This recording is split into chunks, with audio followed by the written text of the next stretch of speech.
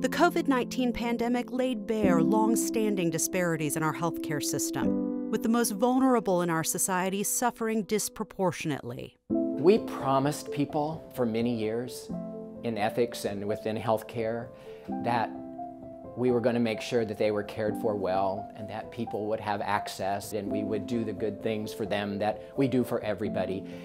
That didn't happen for, for many, many people. This disturbing pandemic reality served as a call to action for the Center for Practical Bioethics, an organization dedicated to bringing bioethics to the bedside to benefit patients, families, and caregivers. The same inequities that we experienced before the pandemic were only magnified during the pandemic. COVID has drastically changed the landscape of healthcare and healthcare ethics. And what we found is that we have to change along with it. The center has long focused its attention on elevating the voices of those who are not heard or heeded. But the pandemic helped crystallize the urgent need to redouble those efforts and look at the center's work as a means of seeking equity and justice in the healthcare system.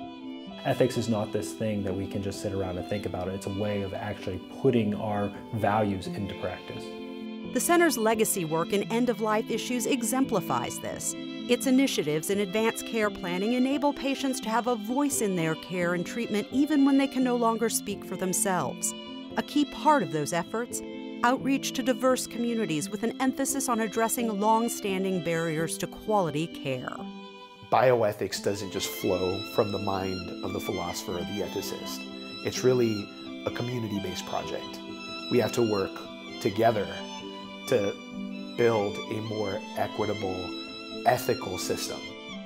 Responding to the needs of clinicians and providing them with ethics information and resources to ensure they're equipped to deal with real world situations is a cornerstone of the Center's work.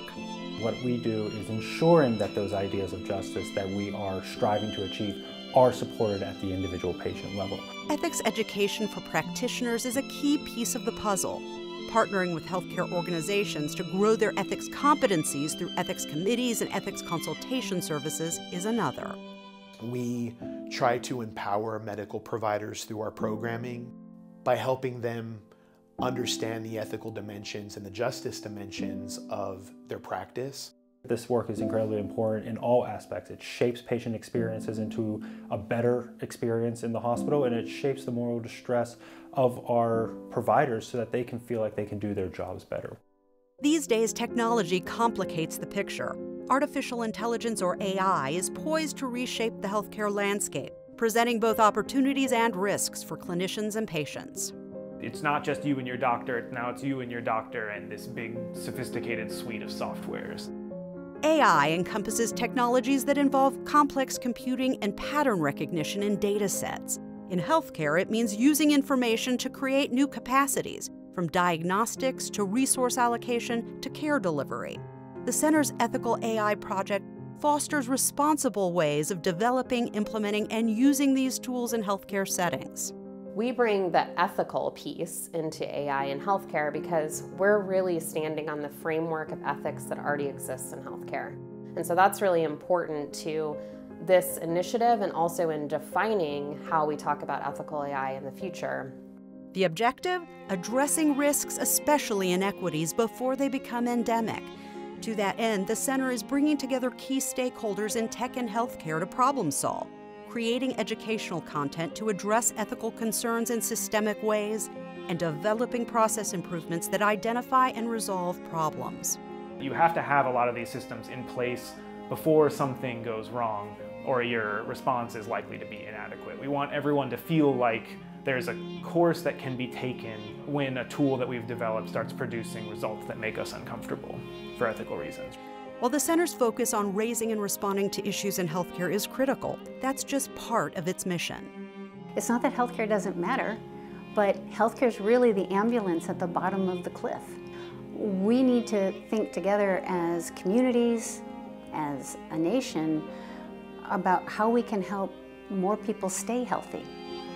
That's the core of the center's work in population health, a discipline that studies health at a group level, looking at population groups based on factors like geography, education, socioeconomic status, and race, among others, enhances our understanding of overall health and differences in health among various populations. The goal? To find customized policy prescriptions to address long standing problems.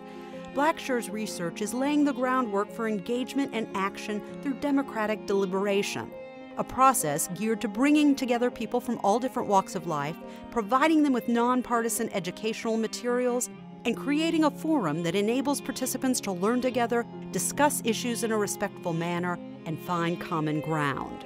There are a lot of Americans who are weary of the fighting, the gridlock, the vitriol. I think there are a lot of Americans who would appreciate the opportunity to learn and talk together about serious problems. In the initial phase of this multi year undertaking, Blackshear and a team of experts are creating a toolkit that will provide a model, resource materials, and metrics for a pilot project in Kansas and Missouri. If successful, it could serve as a template for similar efforts nationwide. Preliminary conversations will focus on population health challenges and opportunities. In the second phase, communities could tackle specific issues like maternal mortality. Poor health outcomes affect all Americans, but have a disproportionate impact on people of color and poor people of all races. Bringing diverse voices into the conversation could serve as a path to solving seemingly intractable problems. We need to learn from them so their voices can be heard and can inform policies, priorities, and important decisions that affect their lives. The ultimate goal of all of these efforts spearheaded by the Center? Improving the quality of healthcare and ensuring better outcomes for everyone.